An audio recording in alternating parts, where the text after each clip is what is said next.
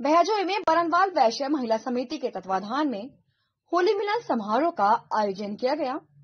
होली मिलन समारोह का शुभारंभ माँ सरस्वती एवं महाराजा अहिबरन के चित्र के समक्ष पुष्प अर्पित कर और दीप प्रज्वलित कर किया गया।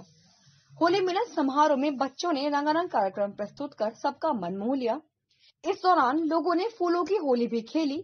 कार्यक्रम की अध्यक्षता नीतू बरनवाल और संचालन भावना गोयल ने किया। कार्यक्रम में भारी संख्या में महिला शक्ति शामिल हुई। बहजोई से संजय गुप्ता की रिपोर्ट।